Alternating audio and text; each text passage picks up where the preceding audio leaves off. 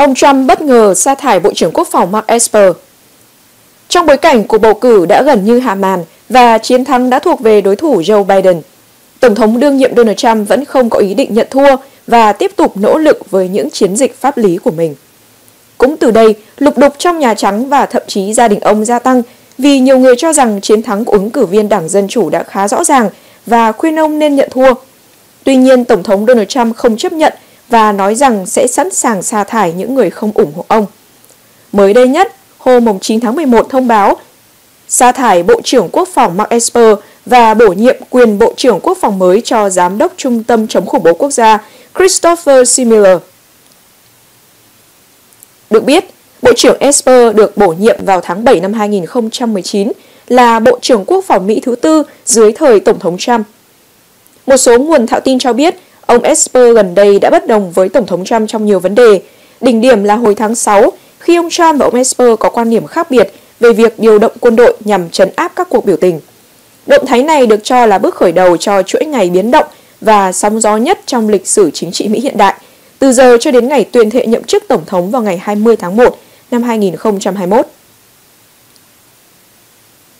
Trong dòng thông báo trên Twitter hôm 9 tháng 11, Tổng thống Trump cho biết Giám đốc Trung tâm chống khủng bố quốc gia Christopher Similler sẽ là quyền Bộ trưởng Quốc phòng, thay thế người đứng đầu Lầu Năm Góc Mark Esper. Mark Esper đã bị sa thải. Tôi cảm ơn sự phục vụ của ông ấy. Tôi xin vui mừng thông báo vị Giám đốc Trung tâm chống khủng bố quốc gia rất được nể trọng, Christopher Similler sẽ là quyền Bộ trưởng Quốc phòng và điều này có hiệu lực ngay lập tức. Tổng thống Trump viết trên Twitter ngày 9 tháng 11. Trước đó, tránh văn phòng Nhà Trắng Mark Meadows đã gọi điện cho Mark Esper cảnh báo ông Trump sẽ sa thải ông qua Twitter. Các quan chức quốc phòng cho biết, sau quyết định của ông Trump, Giám đốc Trung tâm chống khủng bố quốc gia Christopher Similler đã đến lầu năm góc từ đầu buổi chiều để tiếp quản công việc. Quyết định này nhanh chóng bị các nghị sĩ phe dân chủ chỉ trích, nói rằng động thái của Trump gửi một thông điệp nguy hiểm đến các đối thủ của Mỹ và làm lưu mờ hy vọng về một quá trình chuyển giao có trật tự khi Tổng thống đắc cử Joe Biden chuẩn bị nhậm chức. Chủ tịch Hạ viện Nancy Pelosi nói, việc sa thải đột ngột Bộ trưởng Esper là bằng chứng đáng lo ngại, cho thấy Tổng thống Trump đang có ý định sử dụng những ngày cuối cùng của mình trên cương vị người đứng đầu Nhà Trắng để gieo rắc hỗn loạn. Adam Smith, thành viên Đảng Dân Chủ, người đứng đầu Ủy ban Quân vụ Hạ viện, lên án quyết định của Trump là trẻ con và liều lĩnh. Thời gian qua, Esper và Trump bất đồng về nhiều vấn đề, từ cờ Liên minh miền Nam được treo trên các căn cứ quân sự đến huy động quân đội để đối phó biểu tình bạo lực ở các thành phố Mỹ hồi giữa năm nay. Mới đây, có những đồn đoán về việc ông Esper viết sẵn đơn từ nhiệm. Tuy nhiên, đây có thể là bước khởi đầu cho chuỗi ngày biến động và sóng gió nhất trong lịch sử chính trị Mỹ hiện đại, từ giờ cho đến ngày tuyên thệ nhậm chức Tổng thống vào ngày 20 tháng 1 năm 2021. Tổng thống Donald Trump vẫn từ chối chấp nhận thất bại trong bầu cử năm nay. Những nhân vật hàng đầu trong chiến dịch của ông ngày 9 tháng 11 tuyên bố cuộc đua chưa ngã ngũ. Nhà lãnh đạo Mỹ nói từ trước rằng thất bại là điều ông không nuốt trôi. Chiến thắng rất dễ dàng, thất bại không bao giờ dễ. Không phải với tôi, ông Trump phát biểu trước các thành viên chiến dịch vào ngày 3 tháng 11. Việc các hãng truyền thông Mỹ dựa trên thống kê và tuyên bố ông Trump thua cuộc theo cách đã làm hàng chục năm qua, cũng như khi ông chiến thắng vào năm 2016, khiến nhà lãnh đạo Mỹ tức giận và cay đắng. Điều này đồng nghĩa quyết định sa thải Mark Esper chỉ là khởi đầu cho những động thái giận dữ từ Tổng thống Trump đến trước ngày 20 tháng 1 năm 2021, theo CNN. Ngày trước thêm cuộc bầu cử, ông Trump còn liên tục công kích Giám đốc Cục Điều tra Liên bang FBI Christopher Wray vì không điều tra hiệu quả cáo buộc tham nhũng nội bộ. Washington Post tháng 10 tiết lộ, ông Trump đã cân nhắc sa thải Ray sau bầu cử. Bước đi này có thể đe dọa cả vị trí của Bộ trưởng Tư pháp William Barr. Chính trị gia bảo thủ không còn được ông Trump ưu ái sau khi chỉ hoãn điều tra cáo buộc từ Tổng thống. Ông Trump cho rằng cuộc điều tra phản gián của FBI về bầu cử Mỹ năm 2016 đã xảy ra sai phạm, dù không tìm thấy bằng chứng nào thuyết phục. Cũng trong cuối tháng 10, hãng tin Axios tiết lộ Giám đốc cơ quan tình báo trung ương CIA Gina Haspel đang nằm trong danh sách có nguy cơ bị sa thải. Thay đổi nhân sự cấp cao đồng loạt ở Bộ Quốc phòng, CIA, FDI và thậm chí là Bộ Tư pháp Mỹ có thể mới là giai đoạn đầu trong chiến lược loại bỏ những người mà ông Trump thấy không đủ trung thành. Một quan chức cấp cao giấu tên đã tiết lộ với CNN, John McEntee, giám đốc văn phòng nhân sự tổng thống của Nhà Trắng, đang loan tin khắp chính phủ rằng ai đang tìm việc sẽ bị sa thải thẳng tay. Ngoài ra, Tổng thống Trump cũng có thể sa thải một số tổng thanh tra. Nhà lãnh đạo Mỹ cũng đã tỏ ra không do dự về việc sa thải những người không ủng hộ chương trình nghị sự của ông, bao gồm cựu Tổng thanh tra tình báo Michael Atkinson. Mục tiêu nhiều khả năng nhất của Tổng thống Trump sắp tới có thể là Tổng thanh tra Bộ Tư pháp Michael Horowitz, người được cựu Tổng thống Barack Obama bổ nhiệm vào năm 2012.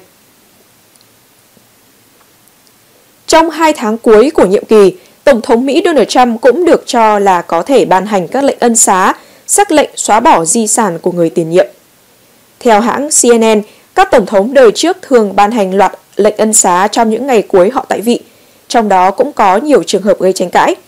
Cụ thể như trong ngày cuối cùng với tư cách là tổng thống, Tổng thống Bill Clinton đã ân xá cho người anh cùng cha khác mẹ Roger Clinton và tỷ phú Mark Rich từng bị điều tra tội phạm liên bang, song cuối cùng không bị buộc tội.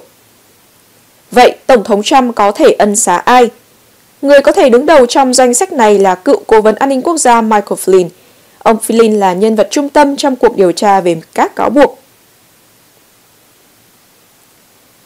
Ông Flynn là nhân vật trung tâm trong cuộc điều tra về các cáo buộc liên quan đến cái gọi là Nga can thiệp bầu cử Mỹ.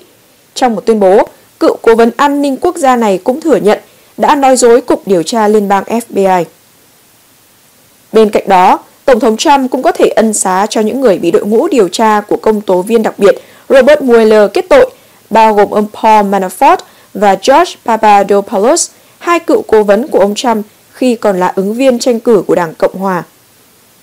Ngoài ra, trong suốt nhiệm kỳ của mình, Tổng thống Trump đã tìm cách hiện thực hóa các chính sách và chương trình nghị sự thông qua các sắc lệnh. Tổng thống Trump có thể sẽ một lần nữa tìm cách để loại bỏ chương trình tạm hoãn trục xuất các trẻ em đến Mỹ bất hợp pháp hay đạo luật chăm sóc sức khỏe hợp túi tiền trên đường mãn nhiệm. Những thực tế những thực tế trên đã khiến giới quan sát đặt ra nhiều kịch bản tiếp theo, thậm chí cả trường hợp ông Trump sẽ không chấp nhận thất bại và không rời khỏi Nhà Trắng sau ngày tuyên thệ nhậm chức của Tổng thống mới. Trong lịch sử Mỹ, chưa có trường hợp nào Tổng thống mãn nhiệm không chịu hợp tác tới mức không rời khỏi Nhà Trắng. Tuy nhiên, truyền thông Mỹ lo ngại kịch bản này có thể xảy ra và gọi đây là một chương đen tối của nước Mỹ nếu thành hiện thực. Đây rõ ràng là một thách thức lớn đối với ông Joe Biden trong việc xây dựng bộ máy chính quyền mới sau khi tuyên bố chiến thắng. Hiện cựu phó tổng thống đang tiến hành các bước chuẩn bị nắm quyền ngay sau lễ nhậm chức và nhóm của ông đã lập một website phục vụ cho việc chuyển giao chính quyền. Nhóm này sẽ chọn ra người tham gia nội các, bàn thảo các chính sách ưu tiên và chuẩn bị cho việc nắm quyền quản lý. Bài phát biểu chiến thắng của ông vào sáng mùng 8 tháng 11 theo giờ Việt Nam cũng đã phát họa những ưu tiên trong chính quyền của ông thời gian tới. Theo đó, ông tập trung vào hàn gắn dạn nứt trong nội bộ nước Mỹ và đối mặt với những thách thức trước mắt. Ông cũng cam kết trở thành tổng thống của tất cả người Mỹ, không tìm cách chia rẽ mà là thống nhất. Tuy nhiên, con đường vào Nhà Trắng của chính trị gia 78 tuổi này chắc chắn sẽ là nhiều trông gai nhất so với các ứng cử viên từng tuyên bố chiến thắng trong các cuộc bầu cử trước đây.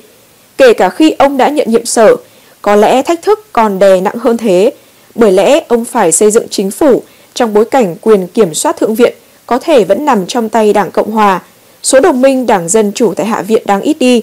Một quốc hội với sự chia rẽ đảng phái sâu sắc sẽ gây trở ngại cho ông Biden khi tìm cách thông qua các dự luật trong 100 ngày đầu tiên của nhiệm sở. Đó là chưa kể hơn 70 triệu dân, những người đã bầu cho ông Trump, mong muốn ông Trump vẫn lãnh đạo nước Mỹ. Bản tin của tin tức 24 giờ online đến đây là kết thúc. Cảm ơn quý vị và các bạn đã theo dõi. Đừng quên cập nhật những bản tin mới nhất tiếp theo trên kênh của chúng tôi. Xin kính chào và hẹn gặp lại.